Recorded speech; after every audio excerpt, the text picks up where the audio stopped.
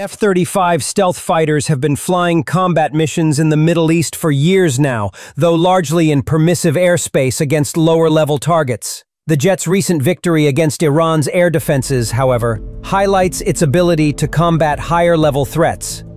The F-35, at the heart of the operation, deserves a closer look. Officially known as the Joint Strike Fighter, it is a fifth-generation multi-role aircraft capable of carrying up to 18,000 pounds of munitions, including precision-guided bombs like the GBU-31JDAM.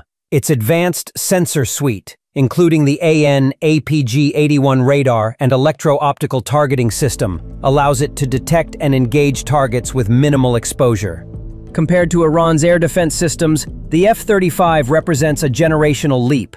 For instance, Russia's S-400, considered one of the world's most advanced air defense systems, struggles to detect stealth aircraft at long ranges, a challenge likely mirrored by Iran's less sophisticated Bavar 373. The F-35's ability to operate in contested airspace, combined with Israel's expertise in integrating it with electronic warfare, made it an ideal platform for such a high-stakes mission. The F-35 Lightning II is a technological marvel, renowned for its advanced stealth capabilities that make it a formidable force in modern warfare. Its design features a combination of low observability, advanced radar-absorbing materials, and a sleek, angular shape that allows it to avoid detection by traditional radar systems. This gives the F-35 a significant edge when penetrating enemy airspace. In addition to stealth, the F-35 is equipped with an array of sensors and avionics systems that provide exceptional situational awareness enabling it to detect, track, and engage targets at long ranges. Iran's air defense systems are not to be underestimated. Over the years, Iran has invested heavily in both foreign and domestic air defense technologies, making it a formidable challenge for any stealth aircraft. One of the key components of Iran's air defense is the Russian-made S-300 system, which is designed to engage aircraft at extended ranges. With its powerful radar and missile capabilities, the S-300 can track and target stealth aircraft, although its effectiveness is still debated when it comes to engaging highly advanced stealth platforms like the F-35.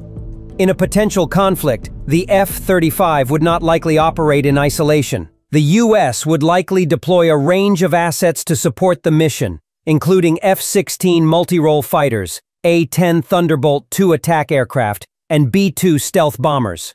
These platforms could provide a combination of air superiority, close air support, and precision strike capabilities, complementing the F-35's strengths. Electronic warfare, EW, capabilities would play a critical role in disrupting Iran's radar and communication systems.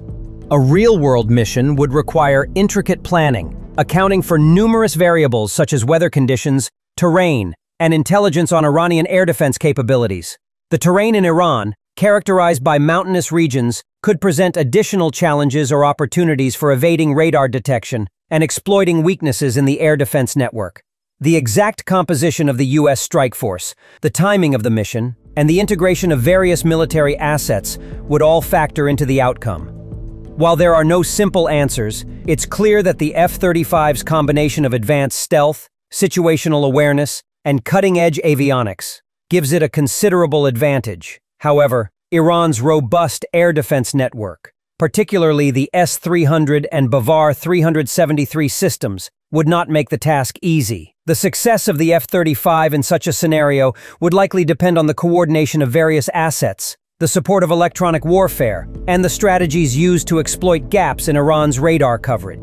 The suppression and destruction of enemy air defenses through penetrating strikes, that is the kind of higher-level mission for which the jet was made.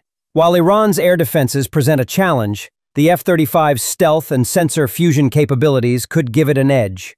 The outcome would depend on factors like coordination of U.S. assets, effectiveness of electronic warfare operations, and strategies employed in real-time combat.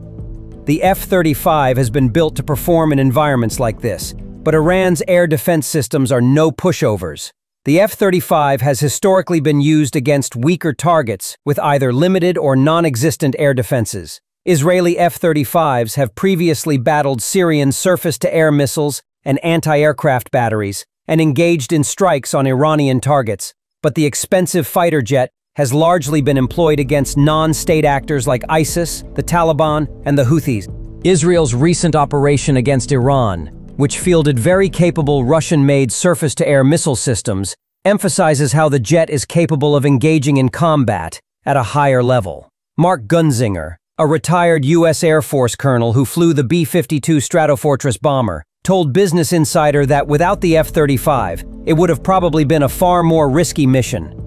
The F-35 Lightning II Joint Strike Fighter is an advanced single-engine, multi-role strike stealth fighter jet made by American defense contractor Lockheed Martin. Multiple variants of the aircraft are in use by several countries, including Israel. Michael Bohnert, a licensed engineer at the RAND Corporation, said that the F-35 was designed to replace existing fighter jets like the F-117, F-16, and F-A-18 with increased stealth, ISR, intelligence, surveillance, and reconnaissance, and other capabilities. Israel, which operates a sub-variant of the F-35A model designed for Air Force operations, was the first to fly the fighter jet in combat in 2018. The U.S. military has since used it in missions across the Middle East.